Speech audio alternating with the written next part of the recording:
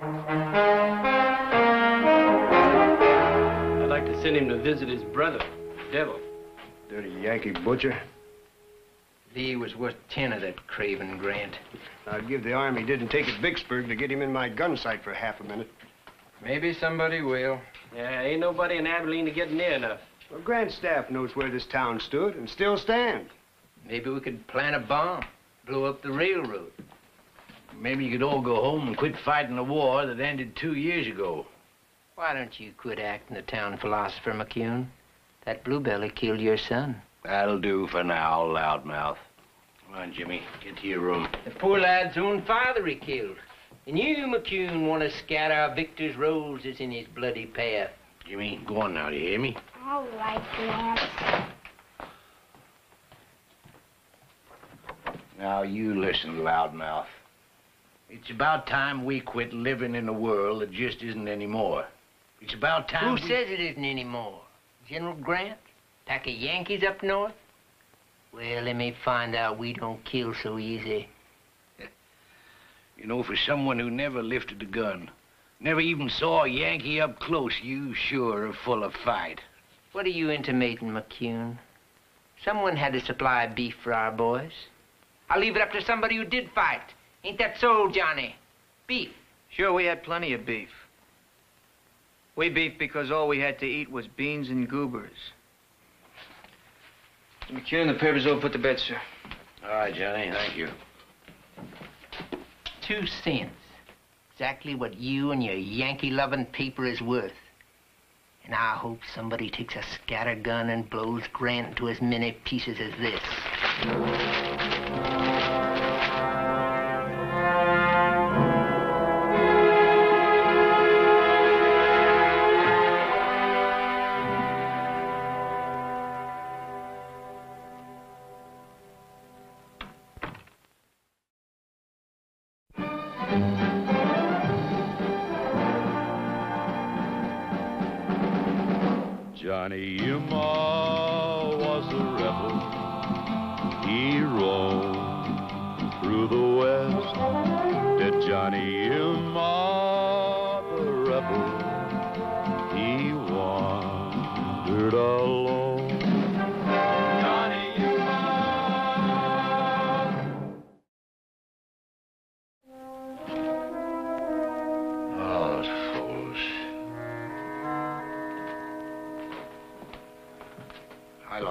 Too. My only son.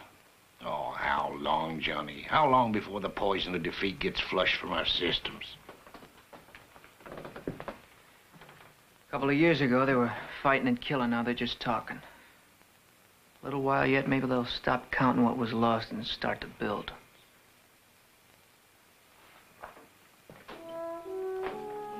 Johnny, you know, for someone your age and experience, you're uncommonly clean of hate and bitterness.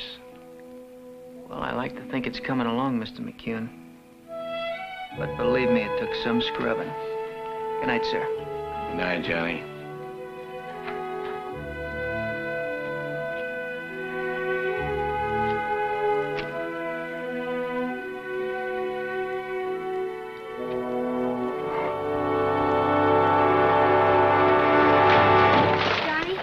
The matter with you creeping around here like a cougar? I could have hurt you. What's going on here? Jimmy, why aren't you upstairs? What in the name of common sense are you doing with Johnny's gun? Why was just showing him something? No, you weren't, Johnny. There's no cause to tell a lie. I was stealing it Why? to kill someone. Him, General U.S. Grant. Son, now don't talk like you're addled. They'd never be looking for somebody my age to do it. And I could get close enough, and I could kill him. For what? Killing my pa. Oh, Jimmy, General Grant never killed your pa. Well, somebody like him did. Some dirty bluebelly, and he gave the orders. Jimmy, those orders weren't directed at your pa, not as a person. And General Grant himself was taking orders.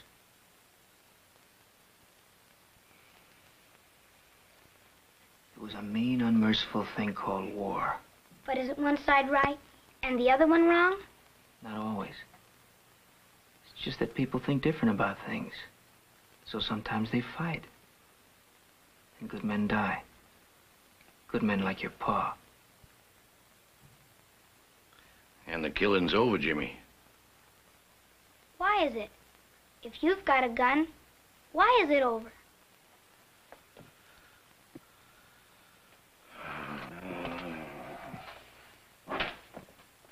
How do you answer that? I guess I don't really know.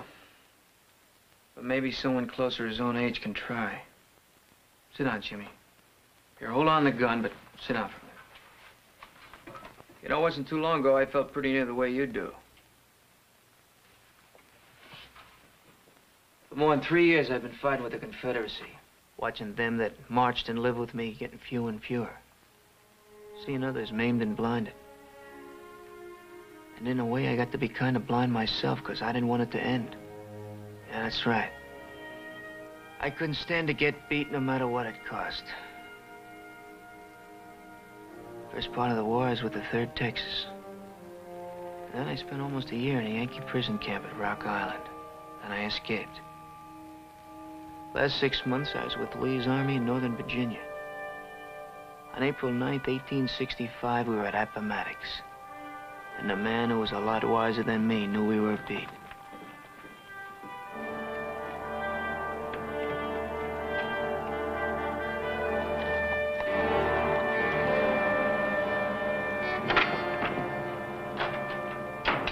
Doug. Doug, we can't let it happen. It's got to be stopped. Down there, you off your feet. I mean, do you think that you, a little old nubbin of a corporal, is going to tell General Robert E. Lee what to do? It's all over, boy. Well, not yet, it's not. Well, it will be. Thank God in a matter of minutes, too. No more, no more fear and death every morning. Pretty soon, old fuzzy-faced Grant and his staff will ride up outside of McLean's house, and, and Lee will sign that piece of paper and give him that tin sword, and we can go home To what? To bootlicking shame and suffering. to life. My Cora, little Danny. Well, not me. Well, just go on. You stay here and keep playing soldier boy. Don't you fund me, paperback. I fought every day you fought. Well, did you fight as much as Stone Jackson? Or Jeb Stuart? Or Hill? Or Pender? Or Rodes? Well, they're all dead. And most of their soldier boys with them. Here they are. And if we give up what they all died for, what? Well, sometimes you lose. Well, not yet. Yes, yet, now, lost. Now, look, Johnny, I ain't no general, but I know something. Two weeks ago, Gordon had 7,500 men. And now he's got less than 2,000 all starved. And Field's got more men absent than present.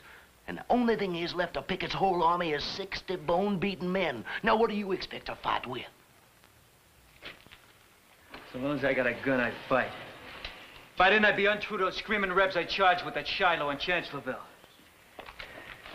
We vowed together that we'd fight until we were all dead if we had to. And then our ghosts would go right on fighting. Well, that's all you're gonna have to fight with, boys, a phantom army. As far as I'm concerned, Grant can have all the leavings. Grant. Grant. Grant. That hard-back blister face. I can just see him strutting up to General Lee. Trying to make him grovel. Humiliating saint. Beating him over the head with the bones of the Confederates. Well, ain't nothing you can do about it now. So you just might as well be content to witness history in the making this here Palm Sunday. Witness, I'm gonna make history. And alone. That is if you don't have the mind to help. What do you got nurturing in that hot Texas head of yours? This morning I was in McLean's house. Right now, General Lee is sitting in the parlor. I'm climbing around back to an attic room right over that parlor. There's a vent there. I got it all laid out. When Grant walks into that room, he's gonna run straight into a head full of lead. Well, you're fevered. I sure am. If a Southerner kills Grant, there'll be no peace. We'll have to go on fighting, and you'll see we'll win. Now, wait a minute, I'll hear it.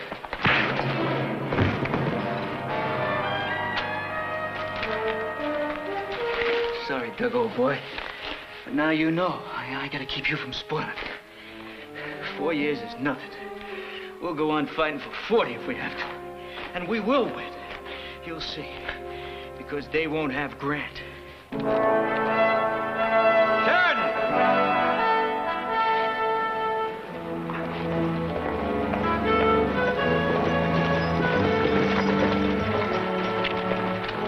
You made good time.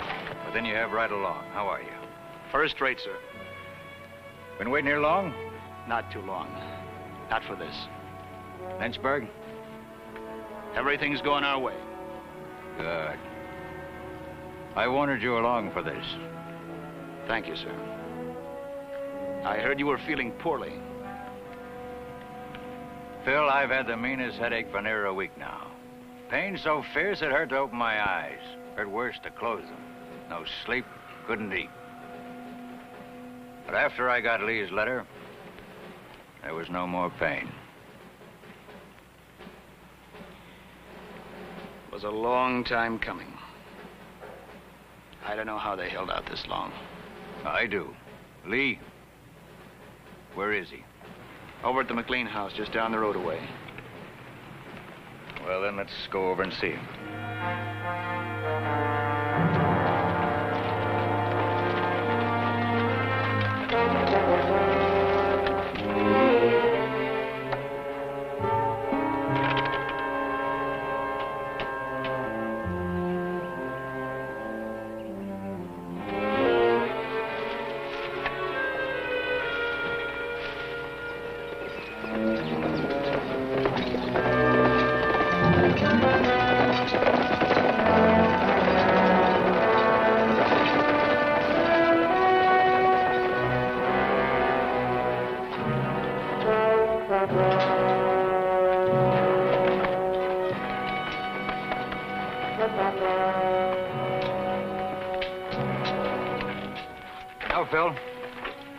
Met General Lee during the Mexican campaign when we were both in the same army.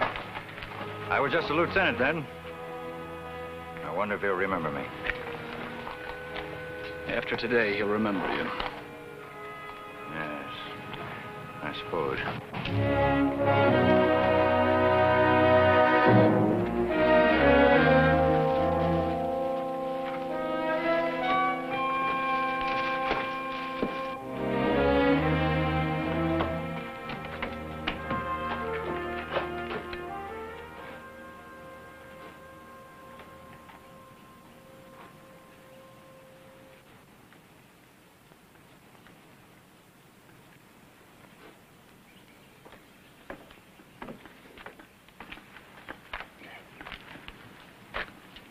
His name's Traveler, isn't it?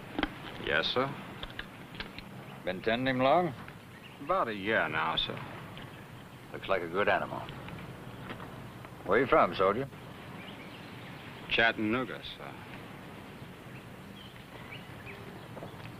Chattanooga. When'd you get creased? Yesterday, sir. Doctor see it?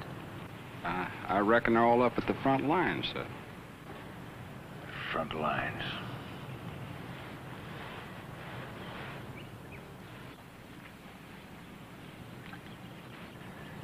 You take care. Take care of old Traveler there. Yes, sir. And, sir, thank you.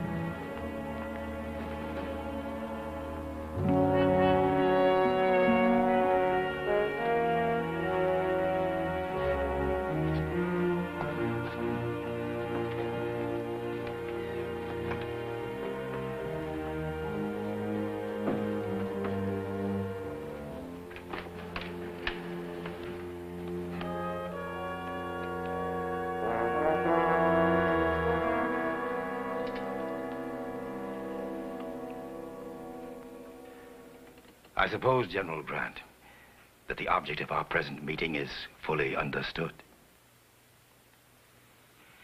I asked to see you to ascertain on what terms you would receive the surrender of my army. The terms I propose are those stated in my letter of yesterday. That is, the officers and men surrendered to be pardoned and properly exchanged. And all arms, ammunition, and supplies to be delivered up as captured property. Those are about the conditions I had hoped would be proposed. And I hope that this will lead to a general suspension of hostility, sir, and be the means of preventing any further loss of life. May I suggest, General Grant, that you commit to writing the terms you have proposed, so they may be formally acted upon. Very well, I'll write them out. Can I have uh, that book and something to write with, please?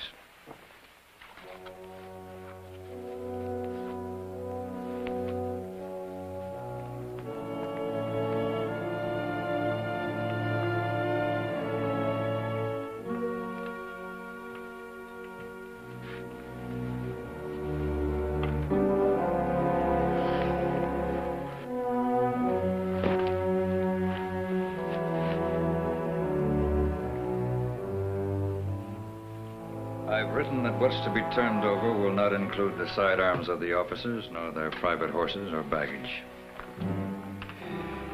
That will have a very happy effect on my men.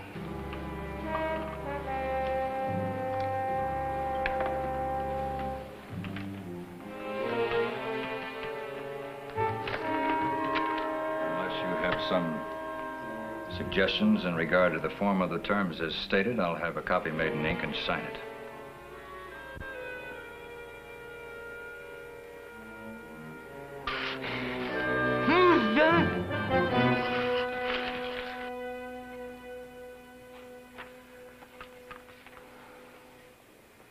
One thing, General. In our army, the cavalrymen and artillerists own their own horses. I know this differs from the United States Army. I would like to understand whether these men will be permitted to retain their horses. The terms don't allow this, General. Only the officers are allowed their private property. No, I see the terms do not allow it. That is quite clear. Well, the subject is quite new to me. Of course, I didn't know that any private soldiers own their own animals. I take it that most of the men in your ranks are small farmers.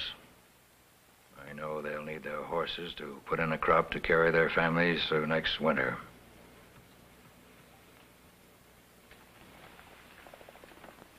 I'll instruct my officers to allow all men who own a horse or a mule to take the animals home to work their small farms.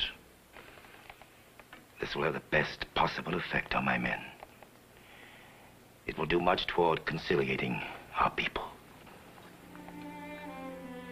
I have about a thousand of your men as prisoners, General Grant. I shall be glad to send them to your lines as soon as possible, for I have no provisions for them. I have indeed nothing for my own men. Of course, I should like to have our men within our lines as soon as possible. I have telegraphed to Lynchburg, directing several trainloads of rations to be sent by rail. I should be glad to have the present wants of your men supplied from them. I'm sorry, General, but those supplies won't be coming. Phil, General Sheridan here captured the train from Lynchburg last night. I see. Of about how many does your present force consist, sir? I am unable to say, General. My losses in killed and wounded are exceedingly heavy. Many of our companies are without officers. I have no means of ascertaining our present strength. Suppose I send over 25,000 rations. You think that would be a sufficient supply? I think it would be more than sufficient. And it will be a great relief. I assure you.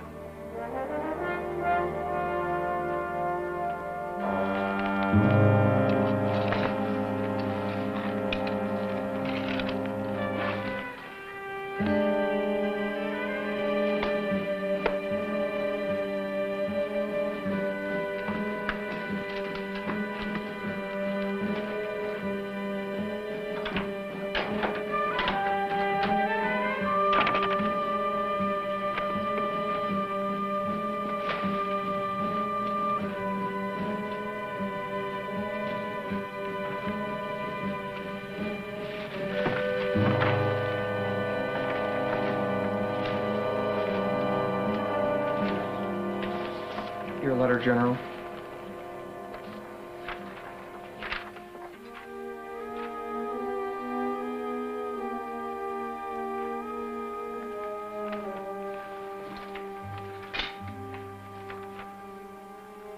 Lieutenant General U.S. Grant, commanding armies of the United States. General, I have received your letter of this date containing the terms of the surrender of the Army of Northern Virginia. They are accepted by me, and I will proceed to designate the proper officers to carry the stipulations into effect. Very respectfully, your obedient servant,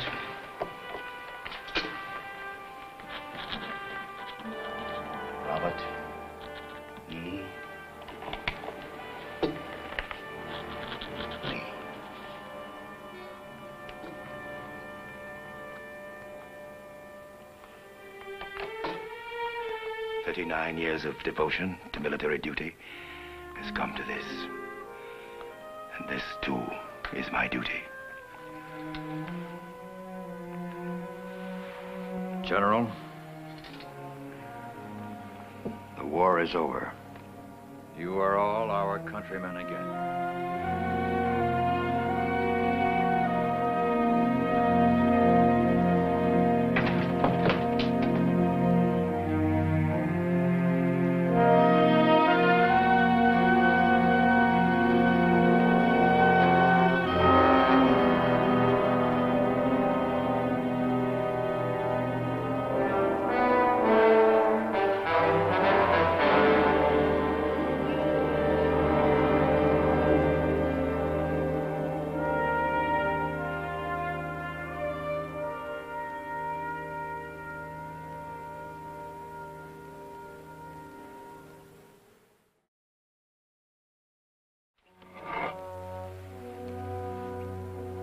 That very same gun, Johnny? The very same, Jimmy. And that's how General Grant really was?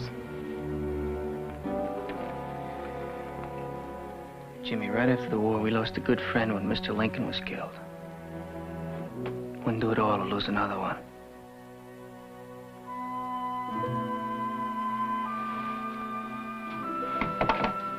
Well, good night, Gramps. Good night, John. Good night, Jimmy. Good night, Jimmy.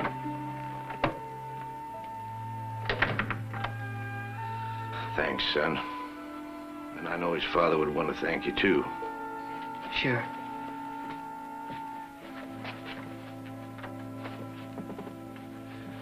Johnny, I knew you were with the 3rd Texas and at Rock Island, but I never knew before that you were at Appomattox. Well, Mr. McCune, here's how I look at it. In a way, everybody who fought for either side was at Appomattox.